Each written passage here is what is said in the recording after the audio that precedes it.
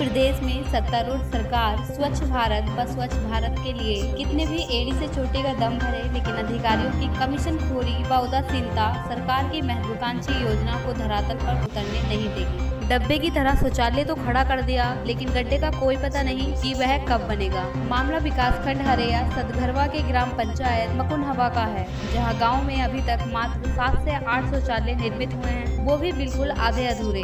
डब्बे की तरह शौचालय तो खड़े हो गए हैं लेकिन गड्ढों का कोई अता पता नहीं है। लाभार्थियों के मुताबिक गड्ढे की बात पूछने पर सेक्रेटरी व प्रधान बताते हैं कि बनेगा, लेकिन बनने की कोई समय सीमा का पता नहीं है। शौचालय के नाम पर महज खाना पूर्ति ही दिख रहा है। लाभार्थियों को चेक न देकर सम्मान उपलब्ध कराए जा रहे हैं, जिसमें घटिया स्तर के बालू व पीले ईटों का प्रयोग किया जा रहा है। अब सवाल यह है कि क्या ऐसे ही होंगे गाँव खुले में सोच मुक्त महज बारह हज़ार रूपए सरकार की तरफ़ से शौचालय के लिए अनुदान मिल रहा है, जिसमें भी कमीशन खोरी का धंधा चल रहा है। इस प्रकार सरकार की महत्वपूर्ण योजना कमीशन खोरी की भेंट चढ़ रही है। गाँव वालों ने प्रशासन से कमीशन खोरी को रोकने, बहादुर शौचालय को पूरा कराने की अपील की।